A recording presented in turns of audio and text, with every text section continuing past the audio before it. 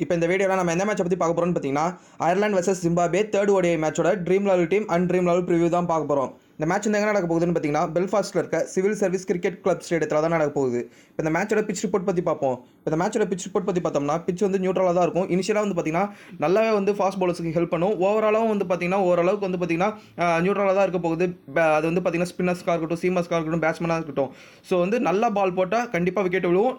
நல்லா பேட் பண்ணால் கண்டிப்பாக ரன் ஸ்கோரிங் வரும். ஸோ அந்த மாதிரியான ஒரு கிரவுண்டு தான். பட் ஆனால் இனிஷியலாக வந்து பார்த்தீங்கன்னா ஃபாஸ்ட் பாலர்ஸ் கொஞ்சம் டாமினேட் பண்ணுவாங்க கேமை இப்போ அயர்லாண்டோட டீம் நியூஸ் பற்றி பார்ப்போம். அயர்லாண்டை பொறுத்த வரைக்கும் பார்த்தீங்கன்னா அதே சேம் பிளேயிங் லெவலோட தான் போக போகிறாங்க இப்போ அயர்லாண்டோட ப்ராபபிள் பிளேயிங் லெவன் பற்றி பார்ப்போம். ஓப்பனிங் பார்த்தீங்கன்னா James McCallum Paul Stirling so ரெண்டு பேரும் ஓப்பன் பண்ணுறாங்க இது வந்து பால் ஸ்டெர்லிங் பார்த்தீங்கன்னா கடைசி ஒரு ரெண்டு சீரியஸாக வந்து செம்ம ஃபார்மில் இருக்காரு. ஸோ இந்த அந்த ஃபார்மை வந்து பார்த்தீங்கன்னா இந்த சீரியஸ்லையும் கண்டினியூ பண்ணிட்டு இருக்காரு. ஸோ அவரை பொறுத்த வரைக்கும் அவரோட வந்து அவரோட டச் வந்து பார்த்தீங்கன்னா நல்ல ஒரு ப்ரைம் டச்சாக தான் இருக்குது. ஸோ அதே அப்படியே ஜேம்ஸ் மேக்லம் வந்தோம்னா அவர் வந்து பார்த்தீங்கன்னா ஒரு கன்சிஸ்டண்ட்டாக ஓப்பன் பண்ண வைக்கல. இது வரைக்கும் பார்த்தீங்கன்னா போன மேட்ச் வந்து ஓரளவுக்கு வந்து பார்த்தீங்கன்னா ரன் ஸ்கோரிங் பண்ணார். பட் ஆனால் இவர் வந்து இந்தியா கூட டி ட்வெண்ட்டியில் தான் ஓரளவுக்கு வந்து பார்த்தீங்கன்னா ஃபேமஸ் ஆனது. அவரோட வந்து பிக் ஹேட்டிங் எபிலிட்டியால் பட் ஆனால் இருந்தாலும் ஒரு க்ளீன் ஸ்ட்ரைக்கர் ஆஃப் த பாலான்னு கேட்டிங்கன்னா கண்டிப்பாக கிடையாது. ஸோ அங்கே தான் வந்து பார்த்தீங்கன்னா ஒரு தடுமாற்றம் ஏற்படும். கண்டிப்பாக பால் ஸ்டெர்லிங் மேலே ஓரளவுக்கு ப்ரெஷர் விழுவும் அவர் வந்து சரியாக ஆடலனா. அடுத்து வந்து பார்த்தீங்கன்னா ஆண்ட்ரூ பால்பரைன் வில்லியம் போட்டர்ஃபீல்டு. ரெண்டு ஸ்டெபிலிட்டி கொடுக்கக்கூடிய பிளேயர் நம்ம டீமுக்கு எப்படி விராட் கோலி ஸோ அங்கே அந்த மாதிரி வந்து பார்த்தீங்கன்னா ஆண்ட்ரூ பால்பரைன். ஸோ வந்து ஒரு ஐம்பது ஓவருமே நின்று ஆடக்கூடிய ஒரு எபிலிட்டி அந்த டீமில் வந்து பார்த்தீங்கன்னா அவருக்கும் வில்லியம் போட்டர்ஃபீல்டுக்கும் மட்டும்தான் இருக்குது பால் ஸ்டெர்லிங்க்கு இருக்குது பட் இருந்தாலும் வந்து பார்த்தீங்கன்னா ஒரு ஒரு சில டைமில் கண்டிப்பாக அவர் அக்ரெசிவ் அக்ரெசிவாக ஆட போயிடுவார். வந்து பார்த்தீங்கன்னா எல்லா பாலுக்குமே வந்து அக்ரெசிவாக ஆட போயிடுவார்.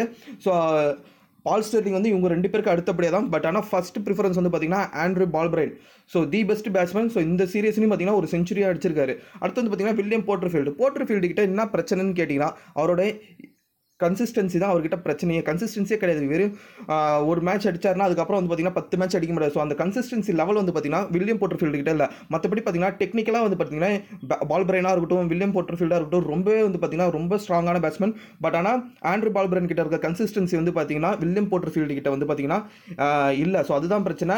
ட்ரை சீரீஸில் கூட பார்த்தீங்கன்னா கிட்டத்தட்ட ரெண்டு மேட்ச் வந்து பார்த்தீங்கன்னா சூப்பராக ஆடினார். ஃபர்ஸ்ட் வந்து பார்த்தீங்கன்னா எல்லா மேட்சும் ஃபெயில் ஆகிட்டு கடைசியில் ரெண்டு மேட்ச் வந்து பார்த்தீங்கன்னா ரொம்ப ரொம்ப நல்லா ஆடினார்.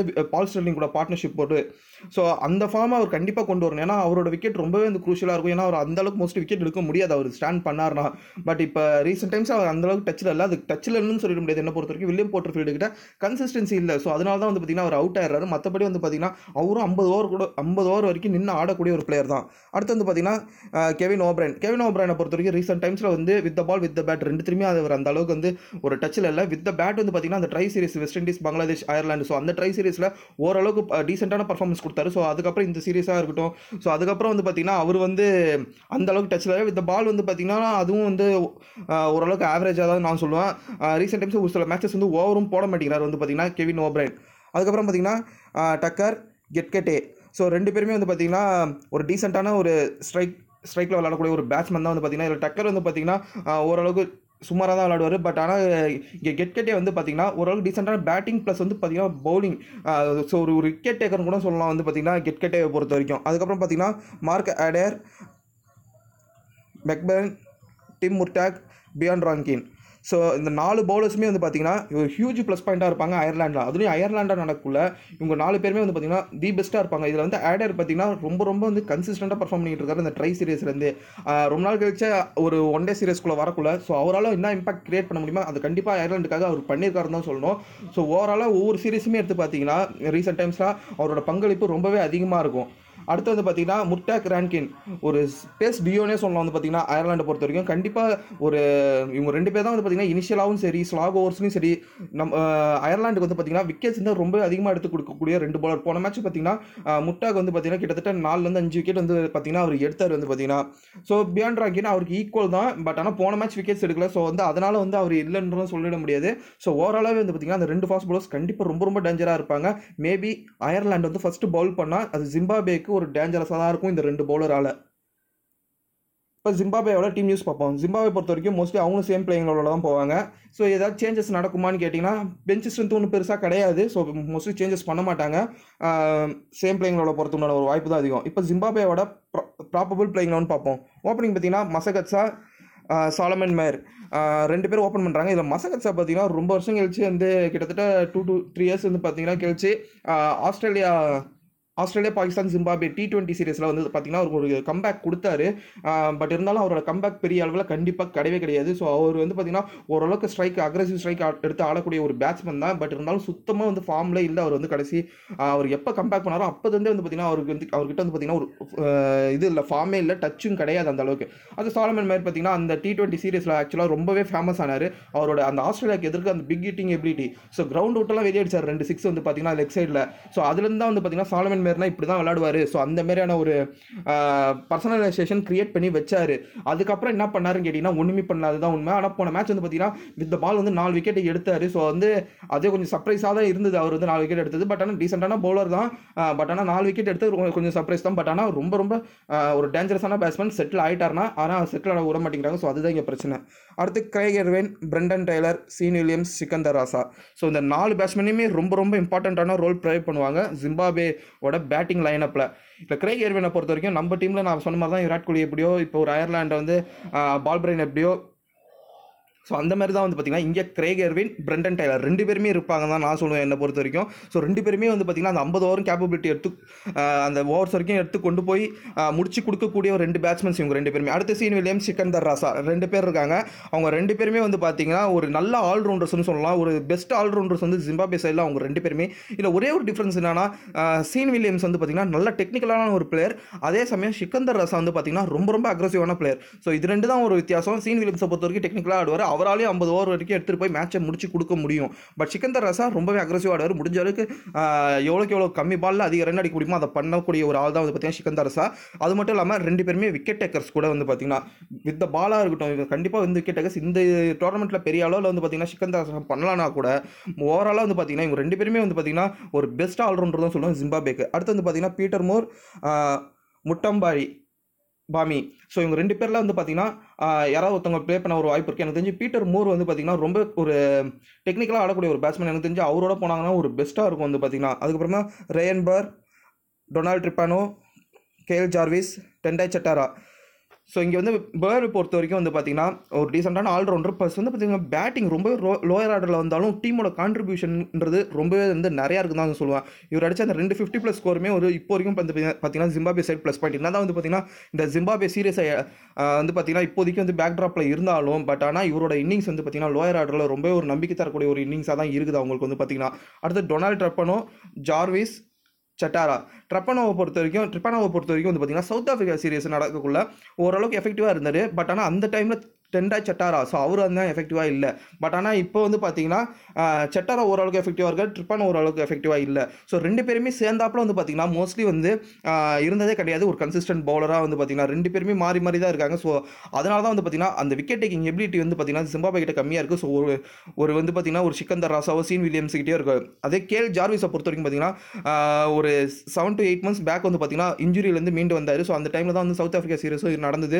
ஸோ ஒரு ஒரு மேட்ச் ஸோ அந்த மாதிரியே தான் வந்து பார்த்தீங்கன்னா கேல் ஜார்விஸ் வந்து பார்த்தீங்கன்னா ஆடினார். பட் ஆனால் அவங்களோட பிரேக் த்ரூ பவுலர் வந்து பார்த்தீங்கன்னா ஜார்விஸ் மட்டும்தான். ஸோ அதுக்கடுத்து வந்து பார்த்தீங்கன்னா சட்டாரா ட்ரிப்பானோ ஸோ ரெண்டு பேருமே. ஸோ ஓவராலாக வந்து பார்த்தீங்கன்னா ஒரு டீசெண்டான பவுலிங் அட்டாக் தான். பட் ஆனால் அந்த கன்சிஸ்டன்சி மெயின்டைன் பண்ணல. ஜார்விஸை தவிர்த்து வந்து பார்த்தீங்கன்னா அவங்க ரெண்டு பேருமே கன்சிஸ்டன்சி மெயின்டைன் பண்ணலன்றது தான் ஒரு அளவுக்கு பிரச்சனையாக அந்த டீமுக்கு இப்போ இந்த கிரௌண்டோட ஸ்டாட்ஸ் பற்றி பார்ப்போம் ஆவரேஜ் ஃபஸ்ட் இன்னிங் ஸ்கோர் பார்த்தீங்கன்னா two seventy five average second inning score பார்த்தீங்கன்னா டூ செவன்ட்டி இப்போ captain and vice captain choices பார்ப்போம். Taylor Ervine Sikandar Raza Sean Williams Adair Stirling Balbirnie Tim முட்டாக் so இவங்கெல்லாம் வந்து பார்த்தீங்கன்னா நீங்கள் உங்கள் டீமுக்கு கேப்டன் அண்ட் வைஸ் கேப்டன் சாய்ஸாக நீங்கள் சூஸ் பண்ணிக்கலாம். இந்த மேட்ச்சுக்கு பார்த்தீங்கன்னா நான் வந்து ட்ரீம் லெவலில் ரெண்டு டீம் சஜஸ்ட் பண்ணுறேன் அதை டீம் ஒன்று வந்து சேஃபான டீமும் டீம் டூ வந்து கொஞ்சம் ரிஸ்க் நீங்கள் வந்து கிராண்ட் லீகில் ட்ரை பண்ணலாம். அதேமாரி வந்து பார்த்தீங்கன்னா ஷார்ட் லீக்லேயும் நீங்கள் வந்து ட்ரை பண்ணலாம். உங்களால் முடிஞ்சதுன்னா மட்டுமே இல்லைனா கிராண்ட் லீகில் மட்டும் ட்ரை பண்ணுங்கள் இப்போ டீம் ஒன் பார்ப்போம். டீம் ஒன்று பார்த்தீங்கன்னா விக்கெட் கீப்பர் ஆப்ஷனில் பிரண்டன் டெய்லர் பேட்ஸ்மேனில் ஸ்டெர்லின் பால்பிரெயின் எர்வின் ஆல்ரவுண்டர்ஸில் பார்த்தீங்கன்னா கெட்கெட்டே வில்லியம்சன் வில்லியம்ஸ் சிக்கந்தர் ராசா பவுலர்ஸில் பார்த்தீங்கன்னா Rankin Murtagh Chatara Jarvis so இந்த டீமுக்கு வந்து பார்த்தீங்கன்னா சீன் வில்லியம்சன் கேப்டனாகவும் பால் ஸ்டெர்லிங்கை வைஸ் கேப்டனாகவும் கொடுத்துருக்கேன். இதில் வந்து நான் ஏன் சீன் வில்லியம்ஸுக்கு போயிருக்கேன்னா ரெண்டு விஷயம். ஒன்று வந்து பார்த்தீங்கன்னா மிடில் ஆர்டரில் டெக்னிக்கலாக ஆடக்கூடிய பேட்ஸ்மேன் கண்டிப்பாக ஒரு வாய்ப்பு நிறையவே கிடைக்கிறதுக்கு உண்டான ஒரு வாய்ப்பு ரொம்பவே அதிகம். ப்ளஸ் பவுலிங்லையும் ரொம்ப ரொம்ப டீசெண்டாக போடுவாங்க. நீங்கள் வந்து அப்படியே இங்கே வந்து பார்த்தீங்கன்னா ஸ்டெர்லிங்கை வந்து வைஸ் கேப்டனாக கொடுத்துருக்கேன் நான் வந்து பார்த்தீங்கன்னா ஸ்டெர்லிங்கை பொறுத்த வரைக்கும் நீங்கள் வந்து பார்த்தீங்கன்னா செம்ம ஃபார்மில் இருக்கார். கடைசி ரெண்டு சீரியஸாக வந்து பார்த்தீங்கன்னா இந்த டீமுக்கு நீங்கள் அவர் கூட கேப்டன் சாய்ஸ் போயிட்டு வில்லியம் வில்லியம்ஸ்க்கு வந்து பார்த்தீங்கன்னா சீன் வில்லியம்ஸ்க்கு வைஸ் கேப்டன் சாய்ஸாக நீங்கள் கொடுக்கலாம். ஸோ ஸ்வாப் பண்ணிக்கலாம். அதில் எந்த தப்புமே கிடையாது. ரெண்டு பேருமே வந்து பார்த்தீங்கன்னா தி பெஸ்ட் தான். அவங்கவுங்க டீமை பொறுத்த வரைக்கும். இல்லை ஸ்டெர்லிங்கை வந்து நீங்கள் நல்லா நோட் பண்ணியிருந்தா தெரியும். ரெண்டு சீரியஸாக வந்து செம்ம ஃபார்மில் இருக்கார். வந்து அந்த ஒவ்வொரு சீரியஸ்க்கும் ஒவ்வொரு ஹண்ட்ரட் ஆக்சுவலாக அடிச்சுட்டு வராரு அவர் அவரோட ஸ்டாட்ஸை பொறுத்த வரைக்கும் வந்து பார்த்தீங்கன்னா ஸோ இந்த டீமுக்கு நீங்கள் அவர் கூட கேப்டனாக போயிட்டு சீன் வில்லியம்ஸுன்னு கூட வந்து பார்த்தீங்கன்னா வைஸ் கேப்டன் சாய்ஸாக நீங்கள் வந்து பார்த்தீங்கன்னா தரலாம். ஸோ இதான் பார்த்தீங்கன்னா என்னோட டீம் ஒன் சேஃப் டீம் இதை நீங்கள் வந்து ஸ்மால் லீக் யூஸ் பண்ணிக்கலாம். இப்போ டீம் டூ பார்ப்போம். டீம் டூவை பொறுத்த வரைக்கும் பார்த்தீங்கன்னா மோஸ்ட்லி கிராண்ட் லீக்ல யூஸ் பண்ணுங்கள் இல்லை ஓகே நான் காசு போனால் பரவாயில்லன்னு போ போடுறவங்க வந்து ஷார்ட் லீக்ல கண்டிப்பாக ட்ரை பண்ணுங்கள் விக்கெட் கீப்பர் ஆப்ஷனில் பார்த்தீங்கன்னா பிரெண்டன் டெய்லர் பேட்ஸ்மேனில் பார்த்தீங்கன்னா பால் ஸ்டெர்லின் போர்ட்ருஃபீல்டு சாலமன் மேர் ஆல்ரவுண்டர்ஸை பார்த்தீங்கன்னா Adair Sean Williams Sikandar Raza Ryan Burl பவுலர்ஸில் பார்த்தீங்கன்னா ரேங்கிங் முர்டாக் ஜார்விஸ் ஸோ இந்த டீமுக்கு வந்து பார்த்தீங்கன்னா ரேங்கிங் கேப்டனாகவும் வில்லியம் போர்ட்டர்ஃபீல்டாக வைஸ் கேப்டனாக கொடுத்துருக்கேன் ஸோ வந்து கொஞ்சம் ஒரு கொஞ்சம்லாம் ரொம்ப ரிஸ்கான டீம் தான். இது வந்து பார்த்தீங்கன்னா ரேங்கினை பொறுத்த வரைக்கும் வந்து பார்த்தீங்கன்னா அவரும் வந்து அவரும் டீம் முட்டாகும். கிட்டத்தட்ட வந்து பார்த்தீங்கன்னா ஒரு சிமிலர் டிஃப்ரென்ஸ் தான். முட்டாக பொறுத்த வரைக்கும் லைன் அண்ட் லென்த் வந்து பார்த்தீங்கன்னா ரொம்ப ரொம்ப சூப்பராக இருக்கும்.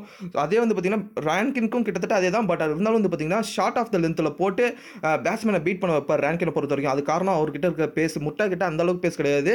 பட் ஆனால் அவர்கிட்ட லைன் அண்ட் லென்த் இருக்குது அதேமாதிரி இவர்கிட்ட வந்து பார்த்தீங்கன்னா பேஸும் இருக்குது லைன் லென்த் இருக்குது ஸோ வந்து ரொம்ப எஃபெக்டிவாக இருப்பார். போன மேட்ச் அதுவும் இல்லாமல் ரெண்டு மேட்சாக வந்து பார்த்தீங்கன்னா அவர் அந்த அளவுக்கு விக்கெட் எடுக்கல. ஸோ அந்த டீமுக்கு வந்து பார்த்தீங்கன்னா நான் வந்து ரேங்கினை கேப்டனாக கொடுத்துருக்கேன் அதேமாதிரி போர்ட்ரு ஃபீல்டு ஸோ அதே அயர்லாண்டில் தான் நான் வந்து போயிருக்கிறேன். ஸோ ஏன்னா நான் வந்து கேப்டனாக வந்து பார்த்தீங்கன்னா பவுலர்ஸில் எடுத்துருக்கனால நான் வைஸ் கேப்டனாக வந்து பார்த்தீங்கன்னா இங்கே வந்து அயர்லாண்டு இருக்கு அயர்லாண்டுக்கே நான் வந்து பார்த்தீங்கன்னா போயிருக்கேன். அந்த டீமுக்கே போயிருக்கேன். ஸோ வில்லியம் போர்ட்ரு ஃபீல்டு இவர் வந்து பார்த்தீங்கன்னா மோஸ்ட்லி யாருமே பிக் பண்ண மாட்டாங்க. அப்படி பண்ணாலும் வந்து பார்த்தீங்கன்னா அவருக்கு எந்த ஒரு இதுவும் கொடுக்க மாட்டாங்க. என்னை பொறுத்த வரைக்கும் வில்லியம் போர்ட்ரு ஃபீல்டு வந்து பார்த்தீங்கன்னா ஒரு ரொம்ப ரொம்ப டெக்னிக்கலாக பேட்ஸ்மேன் நான் எப்பயுமே ட்ரீம் லெவலில் டெக்னிக்கலான பேட்ஸ்மேன் ரொம்பவே நம்புவேன். ஸோ அந்த வகையில் தான் வந்து பார்த்தீங்கன்னா இது ரிஸ்க்காக ரிஸ்க்காகவும் இருக்கும். ப்ளஸ் வந்து பார்த்தீங்கன்னா ஒரு பெஸ்ட்டு ஒரு பிளேயரை போட்ட மாதிரி இருக்கும். அவர்கிட்ட அந்த ப்ராப்ளமே அந்த கன்சிஸ்டன்சி தான். அவர் அது கன்சிஸ்டன்சி வந்து பார்த்தீங்கன்னா மெயின்டைன் பண்ண மாட்டேங்கிறாரு. ஸோ அதுதான் அவர்கிட்ட இருக்கிறது பெரிய பிரச்சனை. மேபி இந்த மேட்ச் வந்து ஃபயர் ஆனார்னா இந்த டீம் வந்து கண்டிப்பாக மேலே வரத்துக்குண்டான ஒரு வாய்ப்பு ஒரு ரொம்பவே அதிகமாக இருக்கும். ஸோ இதான் பார்த்தீங்கன்னா ட்ரீம் லெவலில் என்னோட டீம் டூ இதை வந்து நீங்கள் நான் மறுபடியும் சொல்கிறேன் கிராண்ட் லீகில் யூஸ் பண்ணுங்கள் உங்களுக்கு நீங்கள் காசு போனாலும் பரவாயில்ல. நான் ஒரு ரிஸ்க் எடுக்கிறேன் ஷார்ட் லீக்லன்னா அப்போ மட்டும் நீங்கள் ஷார்ட் லீகில் இந்த டீமை பயன்படுத்தலாம். இந்த லெவல் விக்கெட்ஸில் பார்த்தீங்கன்னா நான் என்னோட டீம் செலக்ட் பண்ண போகிறேன் அயர்லாண்ட் வர்சஸ் ஜிம்பாபே மேட்ச்சுக்கு ஸோ விக்கெட் கீப்பர் ஆப்ஷனில் பார்த்தீங்கன்னா பிரண்டன் டைலர் ஆல்ரவுண்டர்ஸில் பார்த்தீங்கன்னா Mark Adair Sikandar Raza Sean Williams. பேட்ஸ்மேனில் பார்த்தீங்கன்னா Craig Ervine Paul Stirling Balbirnie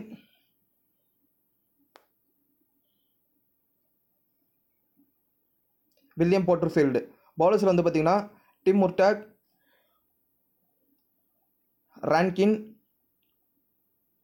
Satara என்னோடய டுவெல்த்து மேனாக பார்த்தீங்கன்னா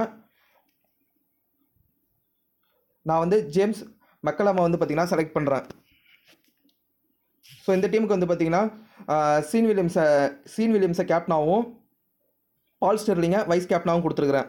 ஸோ இதான் பார்த்தீங்கன்னா இன்றைக்கி என்னோடய லெவல் விக்கெட்ஸ் டாட் காமோட டீம் ஸோ இந்த ஆப்போட லிங்க் வந்து பார்த்தீங்கன்னா கீழே டிஸ்கிரிப்ஷனில் தரேன். செக் பண்ணி பாருங்கள் ஸோ அவ்வளோதான் ஃப்ரெண்ட்ஸ் இந்த வீடியோ இந்த வீடியோ வந்து கண்டிப்பாக உங்களுக்கு யூஸ்ஃபுல்லாக இருந்திருக்கும்னு நினைக்கிறேன். அப்படி யூஸ்ஃபுல்லாக இருந்து நீங்கள் நினச்சிங்கன்னா இந்த வீடியோக்கு ஒரு லைக் கொடுங்க ஷேர் பண்ணுங்கள் மறக்காமல் சுந்தராடம் சேனலில் சப்ஸ்கிரைப் பண்ணுங்கள் ஸோ இந்த இந்த டீம்ஸில் நான் வந்து ஏதாவது சேஞ்சஸ் பண்ணலாம் நான் வந்து லாஸ்ட் மினிட்ல Telegram channel and Twitter so ரெண்டுத்துலையுமே வந்து பார்த்தீங்கன்னா என்னோட லாஸ்ட் மினிட் அப்டேட்ஸ் கொடுப்பேன். ஸோ அதோட ரெண்டுத்தோட லிங்க் வந்து பார்த்தீங்கன்னா கீழே டிஸ்கிரிப்ஷனில் கொடுத்துருக்கேன் கிளிக் பண்ணி ஃபாலோ பண்ணிங்க ஓகே பை ஃப்ரெண்ட்ஸ்